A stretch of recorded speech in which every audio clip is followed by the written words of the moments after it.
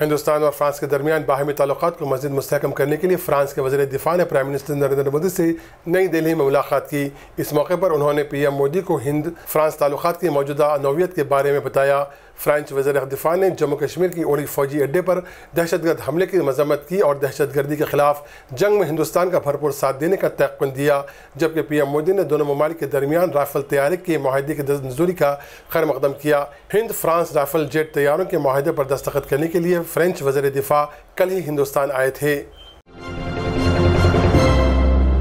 Indian Air force نے حال ہی میں حاصل کردہ عصری missile M I C A missile کا کامیاب تجربہ کیا۔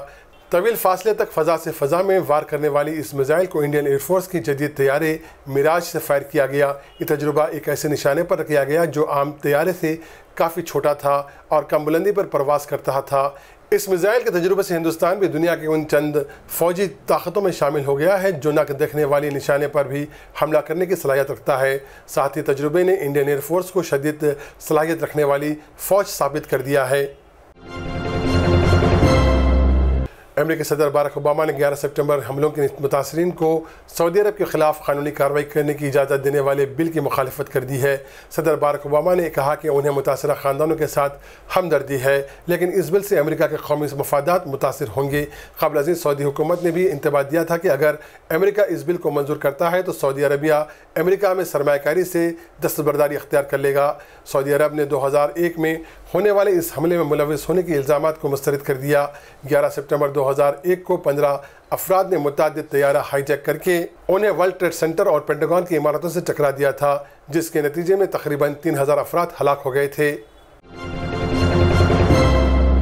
سیریا میں جنگ بندی کے معاہدے کی ناکامی کے بعد صدر بشار الاسد کی حامی افواج نے حلب میں باغیوں کے زیر کنٹرول علاقوں پر شدید بمباری کی ہے۔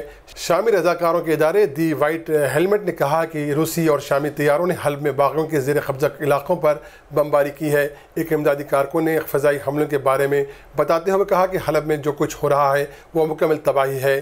شامی حکومت نے فضائی حملوں کی تصدیق کرتے ہوئے لوگوں سے کہا ہے کہ وہ باغیوں کے پوزیشن سے دور رہیں۔ حکومت نے مزید کہا کہ باغیوں کے زیر قبضہ علاقہ علاقوں سے نکلنے کے لیے راستے کھلے رکھے جا رہے ہیں اور ان راستوں کو باغی اور عام شہری دونوں استعمال کر سکتے ہیں۔ A M furniture works, Asif Nagar, Jhara. آپ کی پسند کا فرنیچر واجبی داموں پر گارنٹی کے ساتھ۔ A M furniture works, nine five one five double two double four nine four.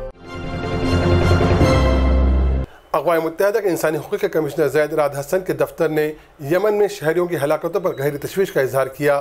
سرکاری اعداد و شمار کے مطابق مارچ دو ہزار پندرہ سے شروع ہونے والے اس مسلح تنازع میں چار ہزار افراد ہلاک ہوئے ہیں۔ اقوام متحدہ کے مطابق گزشتہ ایک ماہ کے دوران دونوں ملکوں کی کارروائیوں میں ایک سو اسی عام شہری ہلاک ہوئے ہیں۔ انسانی حقوق کونسل کے ترجمہ نے یہ بھی کہا کہ اگست میں سویلین آبادیوں پر کیے گئے حملوں میں اضافہ ہوا تھا اور ان حملوں میں عورتوں اور بچوں کی ہلاکتوں کے ساتھ ساتھ خرید و فروخت کی مارکیٹوں کے علاوہ عبادت کے مراکز کو بھی نشانہ بنایا گیا۔ ترکی کے صدر رجب طیب اردگان نے امریکہ پر الزام عائد کیا کہ وہ کرد جنگجوؤں کو ہتھیار فراہم کرنے کا سلسلہ جاری رکھے ہوئے ہیں۔ نیو یارک میں اقوام متحدہ کی جنرل اسمبلی سے تقریر کرتے ہوئے ترکی صدر نے مزید کہا کہ امریکہ اگر یہ خیال کرتا ہے کہ وہ کرد جنگجوؤں کی مدد سے آئی ایس کا خاتمہ کر سکتا ہے تو یہ محض ایک مفروضہ ہے۔ کیونکہ دہشت گرد گروپ دہشت گردوں کا کیوں کر صفایا کریں گے؟ ترکی کرد جنگجوؤں کو دہشت گرد قرار دیتا ہے۔ ترکی صدر نے کہا کہ حالیہ دنوں میں دو امریکی جہازوں کے ذریعے کردوں کو اسلحہ پہنچایا گیا ہے۔ ایرانی صدر حسن روحانی کے مطابق ان کے ملک کے لیے یہ بات غیر اہم ہے کہ امریکہ کا اگلا صدر کون ہوگا۔ روحانی نے اقوام متحدہ کی جنرل اسمبلی کی سالانہ اجلاس کے موقع پر صحافیوں سے بات چیت کرتے ہوئے کہا کہ انہیں امریکی صدارتی انتخابات میں کوئی دلچسپی نہیں ہے۔ لیکن ان کی خواہش ہے کہ جو بھی صدر بنے، وہ دیگر قوموں کے حقوق اور ان کی عزت نفس کا احترام کرے۔ روحانی نے کہا کہ گزشتہ اڑتیس برسوں کے دوران ایرانی عوام مختلف امریکی حکومتوں کے رویوں سے ناخوش رہے ہیں۔ روحانی نے مزید کہا کہ اس طرح اعتماد کی شدید کمی پیدا ہوئی ہے۔ یہ تھی آج کی کچھ اہم خبریں نیشنل نیوز آف انڈیا کے اس خبر نامے کا مشاہدہ کرنے کے لیے۔ آپ ہمارے WhatsApp number seven two double eight double zero double three double six کو اپنے واٹس ایپ گروپ میں شامل کریں اور عبد الحمید شوکت کو دیں اجازت۔